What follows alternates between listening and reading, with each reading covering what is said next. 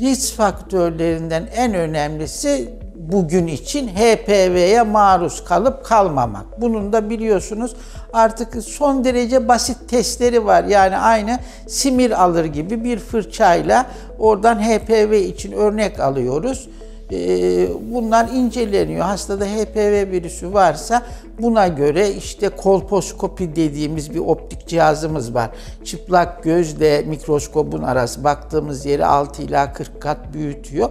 Onunla bakıp çeşitli boyamalarla tehlikeli bölgelerden biyopsiler alıyoruz. Ee, sonucuna göre patolog bize bildiriyor işte e, cin 1 midir, cin 2 midir, cin 3 müdür. Buna göre de tedavi yöntemi seçiliyor.